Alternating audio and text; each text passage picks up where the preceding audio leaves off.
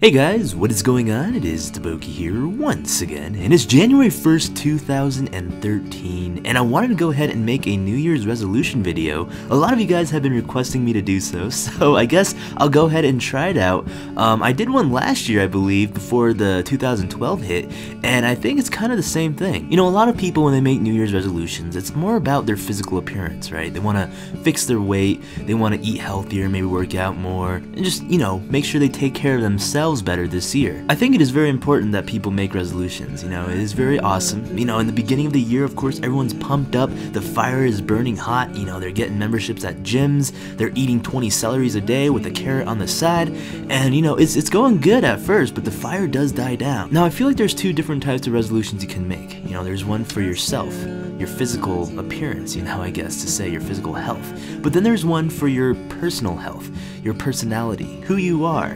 You know, I think uh, you guys know this. I think it's super important to build character. I think it's super important to build personality, who you are, find out who you are, really shape yourself to become better. I mean, you can be this plate of steel, right? You can bench press three cars, save cats from trees, you're this really awesome big buff person or lean thin lady girl.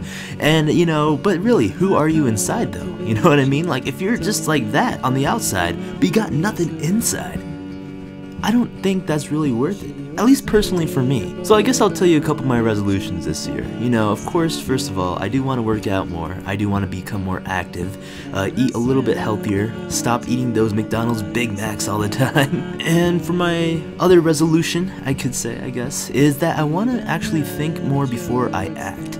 And I think this goes for a lot of people, you know. We, we do things sometimes a little bit too quickly and we don't think about it. We don't think about the consequence that will happen afterwards, you know. And it, it's we're not supposed to be sitting there, you know, like what I was saying in the line of a Best Buy store, trying to choose between gummy bears and gummy worms. I'm not saying don't think like that, like too deeply.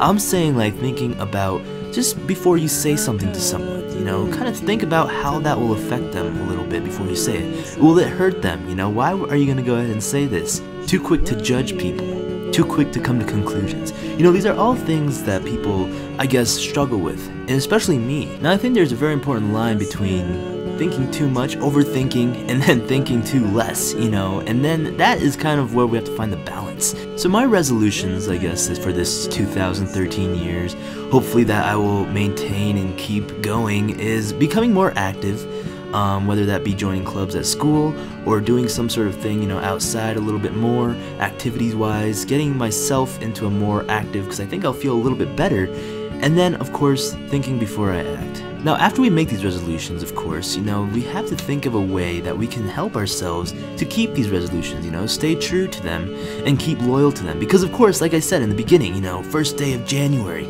people are going to get memberships at gyms, or at least the January 2nd at least, because January 1st, everything is closed. But, I mean, people are pumped, you know, that they're just pumped to get started. But when they're getting so pumped up in the beginning, feel like when they're going so fast in the beginning, you know, of course, like I said, the fire wears out, it burns out, and they'll die out really quick. I think the trick for resolutions, the trick for doing something for yourself is to steady pace it. Get into a routine, repetition, practice.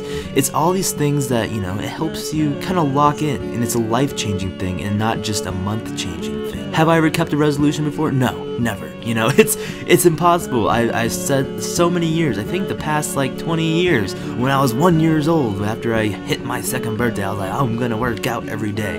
That did not happen. You know, I I fall out of it like almost everyone does. Will I succeed this year in keeping my resolution? I don't know. I hope so, but you know, I hope I can do a little bit better for myself than I was last year. So guys, what are some of your guys' New Year's resolutions? And how do you plan on maintaining them and keeping them? You know, it's always good to hear some tricks, tips, uh, for especially from you guys. I always enjoy your feedback. And guys, like always, thank you so much for watching. Enjoy your year of 2013 and brand new year. And it's an honor and pleasure to be making videos for you guys for this year 2013. Like always, this has been Boki. Be seeing you guys later.